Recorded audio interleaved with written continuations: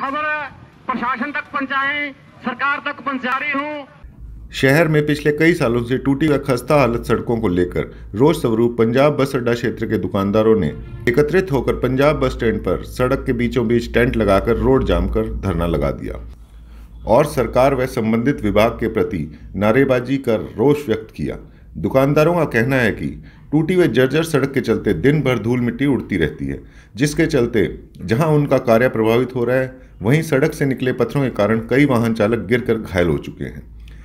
धरने के दौरान हलोपा नेता निर्मल सिंह मलड़ी व कांग्रेस नेता शीशपाल केहरवाला और मंगत हस्सू ने समर्थन देते हुए सरकार के खिलाफ जमकर भड़ास निकाली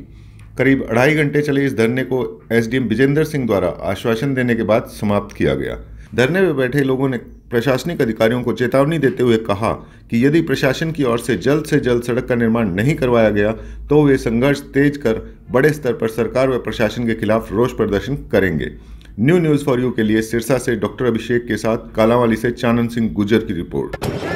आज धरने का मेन मकसद तो आप जानते हैं कालावाली की रोड। आप ये देख रहे हैं कि ये जो मेन रोड है जहाँ से रेलवे रोड है जो कि मुख्य रोड है कालावाली की और यहीं से पूरा कालावाली का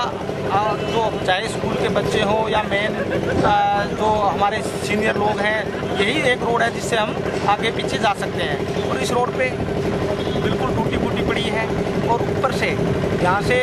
ओवरलोडेड ट्रक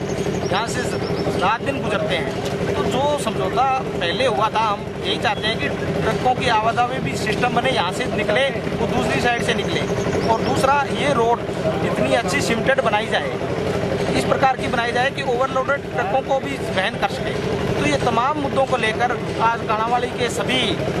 जो नागरिक हैं, हम धरने पे बैठे हैं। हम सरकार से मांग करते हैं कि रोड को जल्द से जल्द बनाया जाए और ट्रैफिक नीति को सुधारा जाए ਅੱਜ ਜੋ ਕਾਲਾਵਾਲੀ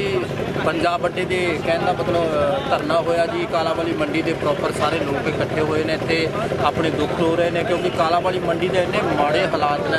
ਸੜਕਾਂ ਦੇ ਬੁਰੇ ਹਾਲ ਨੇ ਕਿਉਂਕਿ ਪਿਛਲੀ 10 ਸਾਲ ਕਾਂਗਰਸ ਦੀ ਸਰਕਾਰ ਰਹੀ ਉਸਨੇ ਕੁਝ ਨਹੀਂ ਕੀਤਾ ਹੁਣ 3-4 ਸਾਲ ਹੋ ਗਏ ਬੀਜੇਪੀ ਦੀ ਸਰਕਾਰ ਬਣੀ ਹੈ ਇਸਨੇ ਕੁਝ ਵੀ ਨਹੀਂ ਕੀਤਾ ਲੋਕਾਂ ਦੇ ਬਹੁਤ ਮਾੜੇ ਹਾਲਾਤ ਨੇ ਮਿੱਟੀ ਧੂੜ ਉੱਡ ਰਹੀ ਹੈ ਸੜਕਾਂ ਦੇ ਵਿੱਚ ਗੋਡੇ ਗੋਡੇ ਖੱਡੇ ਨੇ ਜੇ ਤੋਂ ਥਾਣਾ ਰੋਡ ਲੈ ਲਓ ਇੱਧਰ ਲੈ ਲਓ ਮੰਡੀ ਦੇ ਵਿੱਚ ਸਾਰੇ ਬੁਰੇ ਹਾਲਾਤ ਨੇ ਇਸ ਕਰਕੇ ਲੋਕਾਂ ਦੀ ਮੰਗ ਨੂੰ ਸਰਕਾਰ पूरी करे ताकि लोगों को सुख सुविधा मिल सके हमारी ये रोड है मेन रोड काला वाली इसका बहुत खस्ता हालत है कई बार हमने पहले भी धरना दिया लेकिन सरकार के झूठे शासन में हम कई बार धरना समाप्त कर दिया लेकिन आज धरना